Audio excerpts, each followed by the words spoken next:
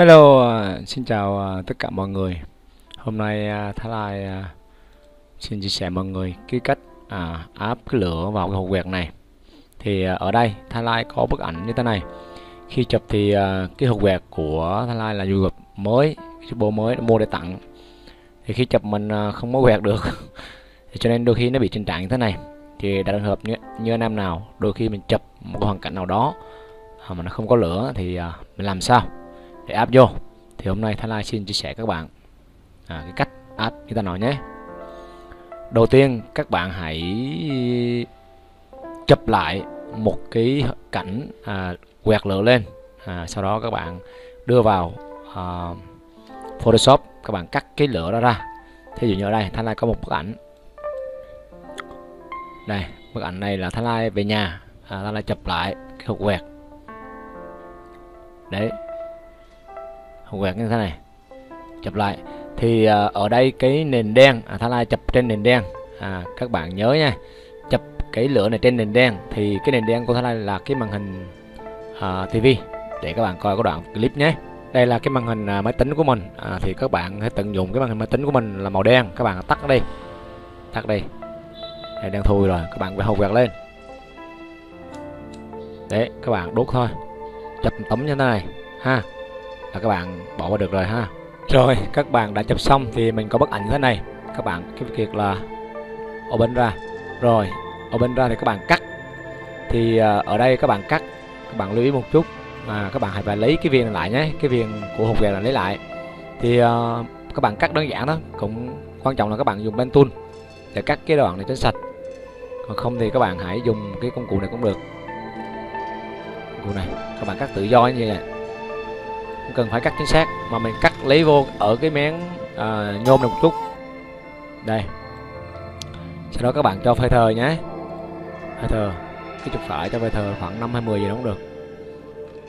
10 các bạn kình chân cái này lên. Hoặc là các bạn lôi thẳng bấm công cụ V lôi thẳng qua đây luôn. Đấy. Khi ra đây thì nó sẽ có như thế này. Đây. Các bạn thấy cái viền nó chưa? Đây cái viền này này để nó ăn khớp với cái viền bên này. Rồi khi chúng ta lôi qua bên này rồi thì chúng ta ở đây á, cái lửa này rất là dài khi mình à, quẹt mình chụp rất là dài. Và các bạn hãy đoán rằng cái lửa này nó cao lên bao nhiêu là vừa. Thì ở đây Thái Lai nghĩ là cho cái lửa này ngắn lại. Các bạn bấm kênh chân tên nhé. Kênh chân tên ngắn lại. Kênh chân tên ngắn lại miếng ship. Kéo xuống cho nó ngắn lại như vậy. Đó. cái này là mình đoán theo cái suy nghĩ của mình thôi còn các bạn muốn dài cỡ nào thì tùy mình nhé các bạn. Enter. Đó các bạn đưa theo cái hướng chiều lửa đỏ thế này. Các bạn cho nó khớp vào đây. Cần cho t tiếp tục quay cái hình. Quay cái hình lại nhé. Rồi các bạn để vào cho nó khớp thế này. Rồi thì cái lửa của mình rất là cao. À, nó không có khớp với cái nét mặt. Thì giờ mình nhấn kênh t một lần nữa mình kịch t mình nhấn trôn hoặc là mình cho nó nhỏ lại một chút nhé. Rồi cho nhỏ lại một chút. Ok. Thì cái này cũng có một phần nữa các bạn. Đây là mình hướng dẫn các bạn cách để làm nó thôi. Còn cái lượng này thật hay không á, thì tùy theo mắt thẩm mỹ của các bạn nhé. Các bạn làm. Thì, thì nếu mà tấm hình này á thì mình nghĩ là cái lửa của hộp quẹt này nó không thể là nhọn dài như vậy. Nó phải to chút xíu cơ. Thì bây giờ đây mình làm cho các bạn luôn ha. Mình quay cái hình lại chút lại quay hình lại như vậy đó sau đó mình kình trên t mình kéo cái này ngắn này chút. Ngắn này nữa sau đó mình kình trên t lại mình, mình xoay tiếp tục. Thế. À, mình bẻ cho cái phần cái phần ở dưới này nó to ra kình trên t mình nhấn chuột phải bấm quáp chọn quáp kéo cho nó cái phần này to ra một chút. Đấy, phần ở dưới cái rồi. Sau đó mình xoay chút xíu xoay vậy. Rồi ok bỏ vào đây. Bỏ trong khớp. Rồi. Thì cái này nó rất là nhanh mình không cần phải cắt ừ, chính xác gì hết mình cắt uh, đơn giản rồi. Sau đó các bạn hãy qua ở bảng Linear Mode các bạn chọn screen screen đây này. Thì lúc này cái màu đen nó sẽ lặn rồi còn màu đỏ là thôi. Thì khi mà lặn như vậy á đây các bạn thấy nó khớp không? Cái chỗ mà viền viền này này nó khớp này. Đấy nó khớp nó, nó sáng này, cái cái phần nhôm đó à, nhưng mà ở đây nó bị cái lằn thế này thì các bạn cũng đơn giản thôi các bạn hãy vào bấm Ctrl L. Ctrl L ở đâu? Đây. Ctrl L. Đây. Các bạn chọn nó sau đó các bạn bấm chỉnh chứ tối xuống thì vùng đen nó tối nữa. Đây. Tối khi nào mà nó lặn thì thôi. Đây này thì ở đây khi mình mình chỉnh á mình chỉnh tối xuống thì cái vùng lửa xanh này bị mất này bạn lưu ý chú qua đây à, là sao bị mất? À. ok. Rồi ok nó bị mất cái lửa xanh. Nó không có khớp nó không có thực với tấm hình. Này, thì cái này cũng đơn giản là các bạn hãy ờ, uh, những cái công cụ này. Các bạn cắt nó đưa nó xuống. Các bạn cho vào thờ nhé à, thờ. 10 các bạn nhấn kình trên tay các bạn kéo xuống luôn. Kéo xuống cho lửa nó khớp đây đấy đấy rồi. Bấm kình D kình chân D là bỏ một chọn rồi lúc này ta có bức ảnh thế này. Rồi thì ở đây khi mà mình làm như vậy thì rõ ràng nó rất là nhiều chi tiết để mà chúng ta à, bằng về cái này. Thì rõ ràng cái vùng viền nó bị mất rồi. Cái viền trắng ở đây bị mất rồi này. Giờ chúng ta hãy xóa cái này nhé dùng e xóa cái này trước cái ha mình sẽ làm cái đó sau. Dùng e bôi xóa những cái ở ngoài này đi. Đây xóa đi. Đấy. Thì chúng ta là có ngọn lửa thế này. Nhưng mà cái viền bị mất rồi thì chúng ta hãy qua bên này. Qua bên cái tấm hình này.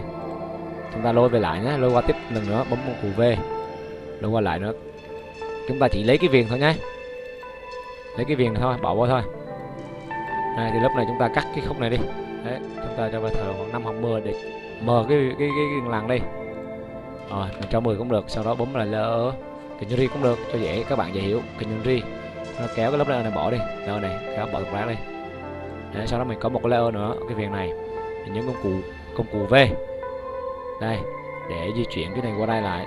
Giờ mình Ctrl T kéo cái này đi. Ờ, mình đưa lại qua đây. Đưa vào chỗ này cho nó khớp. Sau đó mình vào screen một lần nữa. Đấy, lúc này thì cái cái viền nó đã có cái phần này thấy nha rồi khi mà nó có lên rồi thì các bạn hãy tẩy xóa làm sao đó cho nó khớp với cái này cái bì bị lam bị lam thì cái này mà mất thẩm mỹ các bạn xóa nhé mình xóa thử nha. Rồi ở chỗ này nó còn dư nè. Dư. Như vậy thì bức lửa của mình quá là thật rồi. Đây. Chúng ta đã có cái hình gốc cái hình làm. ở đây mình thấy là ngọn lửa nó chưa hấp dẫn lắm. Đó mình cho ngọn lửa to xuống xuống nữa ngọn lửa này. Những cần tê mình zoom lên. À, ở đây. Mình nhìn thấy đây nó có bị sơ sơ này là đỏ này. Thì cái này không sao ngoài viên ngoài viền nó bị vậy. Và ở đây bị một cái lỗi nhỏ đây nè. Hai cái lần lần này. Để dùng e xóa thôi các bạn nhé. Xóa đi. Xóa sơ đây chút ok. Rồi như vậy chúng ta đã xong rồi. Thì bây giờ các bạn muốn để như vậy cũng được hay là các bạn muốn làm cái màu lại một tí thì cũng được. Thì tùy các bạn thôi. Thì ở đây tấm ảnh này nếu mà ghép lửa đã, đã xong rồi và mình để màu. Còn bây giờ Thái Lai muốn uh, làm cho cái lửa này nó nhấn một chút thì cái màu nó mất lại một chút. Thì Thái Lai hãy Thái Lai dùng cái uh, cắt cái tất cả những cái này ra. Cắt ra hết đó thì thời gian rất là dài. Cho nên Thái Lai áp như thế này. Thái Lai bỏ một cái lớp layer ở dưới này.